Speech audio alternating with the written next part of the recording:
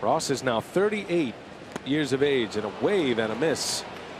Down he goes. Big strikeout there for Cravy. He needed that one. That's a second K for him.